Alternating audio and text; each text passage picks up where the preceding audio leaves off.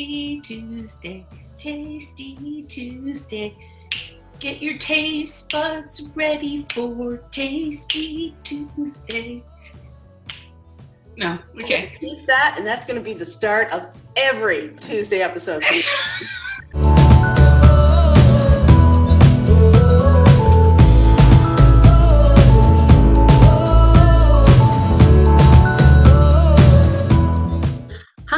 Pastor Diane from Norfolk Wesleyan Church. And I am Pastor Peggy from Slave Lake Wesleyan Church. Welcome to Tasty Tuesday. Tasty Tuesday, Tasty Tuesday. A whole new way of doing things here. Yeah, I'm so excited about this. I am really looking forward to today's recipe and today's special guest. Hmm And you, yes, you, you, you, you, you, you can be a special guest on here too. How cool How is that? they do that? Well, what they do is they watch this video and then think, "Oh, well, I've got a recipe that I would like to teach." And and what you do is you send us a, a recipe and uh, something that we can, like the, the the ingredients we can pick up, and you come onto our show and you teach us how to make your dish. Oh, so much fun! I know. If you get chosen, we will give you a gift. That gift is a $20 gift certificate to a place of your choice, sort of. Big box stores, but if you have a local business that you'd like to support and they will take a credit card order over the phone, um, I can call them, set that up, and you'd be good to go. So um, we, we'd love to set you up with a $20 gift card And you can be either in Canada, or in the US. and if you're if you're from another place, we would love for you to come on and teach us something. Yeah, We can't guarantee that we might be able to get you a gift certificate. We just we'll try. we try. We'll try. but hey, that Be- sounds great. Why don't we move into the kitchen? We are now in the kitchen and oh, we have our guest with us. Would you like to introduce yourself? Hi, my name is Melody, and I get the privilege of being the pastor of Inkerman Wesleyan Church. And I've been here eight years. And um, Inkerman is about 45 minutes south of Ottawa, Ontario. Well, I'm I'm really excited uh, today because uh, Melody is going to teach us. Listen, I, I said this this morning in my sermon. If I could be stranded on a desert island and I only had one food to choose from to eat, it would be soup. Like soup is my favorite. I'll eat it anytime, and we are going to be making soup. So I'm so excited. A new soup, soup that I don't know. And you know, pa- Pastor Peggy, I would have to agree with you. Even though I love chocolate, if I were stranded on a desert island, I'd get sick of chocolate real soon. But not soup. Not soup. Not soup.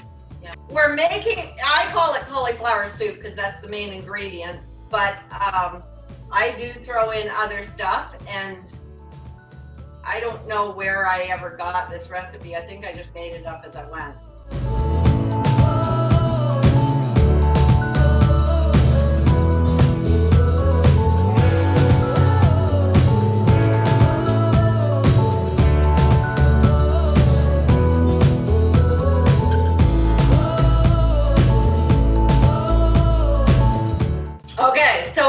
You have a pot, okay? Pot. A pot. And into the pot goes just, um, now, the thing about cooking with melody is, um, I don't measure. very, very rarely do I measure. Are the best cooks. Chocolate chips, but there's no chocolate chips in the, in the soup. So I just, um, you know, put in a little squirt of oil. What do you turn your burner on to? High, low, medium? Oh, there it is.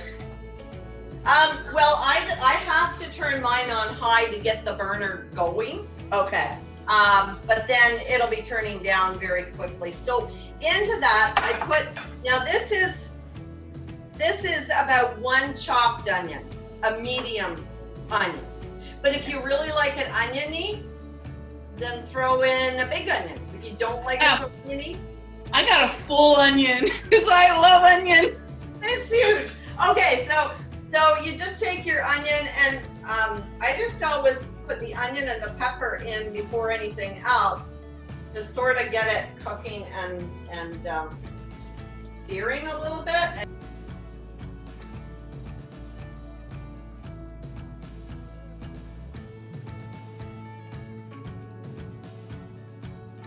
I don't know if you can hear that sizzling away, but I just let it sizzle for a second. And then I start to turn my heat down. I'm going to add a couple of cloves of garlic because I love garlic. That would be really good. I don't have any garlic, um, but you can put in garlic, no problem. Um, you're gonna add two cups of water. I'm gonna add some chicken stock. If you Okay. had just boxed chicken stock, but I'm gonna add like four teaspoons because by the time I put in the milk base too. So if you're using chicken stock, two cups. Okay, so chicken stock rather than water. Yeah, like I I put in water and then I put in the um, the bouillon Yeah. And that makes my chicken stock, but I'm gonna make it a little stronger. And then I didn't have celery, so I'm putting in, oh, I don't know, a half to a third to three quarters of a teaspoon of celery seed. I'm gonna grind some pepper in there.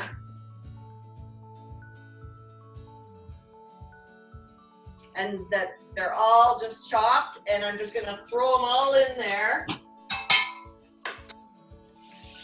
And they don't have to actually cook a long time. You want them soft, but um, you're gonna mush it all up anyways. No, so good already. It My does. water is nowhere near covering the veggies. Do I need to add more? Nope. No, it will cook. It'll just steam them. Um, just then put a lid on. I do actually have another cup of um, the stock. Can I put that in anyway? Well, Or you will that make it too runny? But then see, like now we're gonna make a white sauce, Okay. Nice. and that is two more cups of liquid. I don't know how many veggies you used, so if you've got a bit more in there and you Yeah. want, want some more stock, put some more in. This is just sort of, I'd only put like a, like, I wouldn't put more than a cup. Yeah, I feel better about that. Even though it's still not covering all the vegetables, it's up a little bit higher, so, Yeah. okay. Well, that is boiling, we're gonna make our white sauce.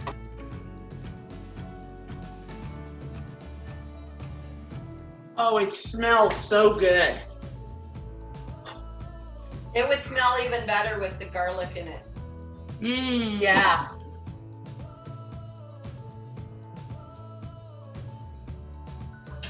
How much milk do we need? Two cups? Cups. And you're gonna need some, um, cause we're gonna, we're gonna put that in the microwave to heat it, the milk. Oh, okay. Because you have to put, to make a white sauce, you have to add hot milk. So you start with three tablespoons of butter or margarine and three tablespoons of flour. I'm gonna put it in the pot and the, I put the burner on medium. And so um, you get that melting away. And if you had a whisk, it would help. When your butter is melted, you can take your flour, so it's three tablespoons roughly. Um, and put that in there. And then whisk it away. And while you're whisking, you can you can um, microwave your milk for two minutes. You want the butter and the flour to be nice and smooth um, before you add the milk. And you might have to take your butter and flour off the heat. Um, like I'm doing that now. I'm taking it off so it doesn't go lumpy or hard or overcooked.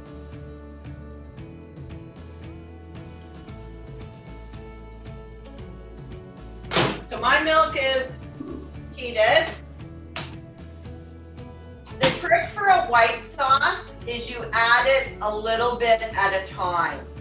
And does it need to be on the heat when you add it? Yeah, you put your pot back on the on the heat, and um, because you do want it to get thick, so I just add like a little bit and start stirring, because otherwise the stuff can go really lumpy. When that's all mixed in and it's nice and smooth, you pour in the next bit.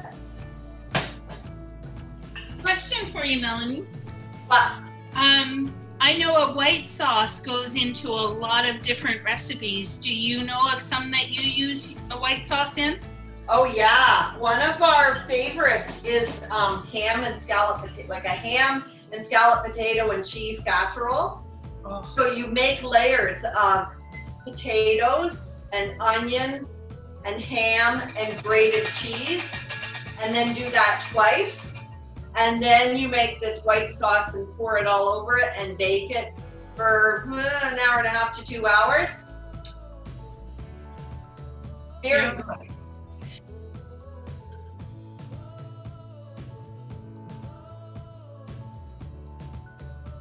By about halfway of the milk, you can add it all in. Um, but it does need then to, to cook because it has to start thickening. Now, sometimes I will add grated cheese to this, um, and that makes it really rich too. Or sometimes then I just have the soup with chunks of cheese and and toast or grilled cheese sandwiches or cheese buns. I generally work in cheese some way because I really like cheese. Well, If you put the cheese in the white sauce, would you put it in now or wait until it can- is thick? I would let it start to thicken a little bit Okay. and then put in the grated cheese.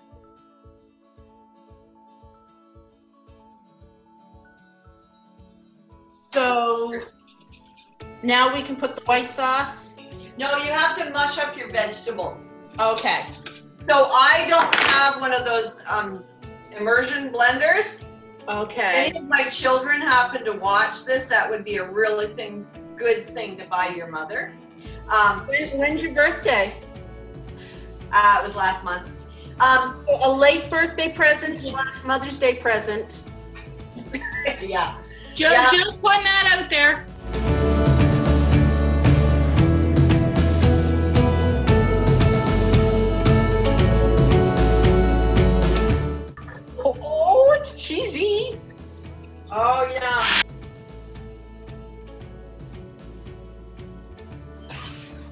That is actually going to be supper today.